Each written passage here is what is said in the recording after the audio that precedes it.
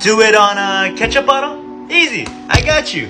But if I land the trick, whoever you share this with uh, owes you $50. Can I do it? Can I do it? If I land this trick, please show me some love, guys. What? I did it! Let's go!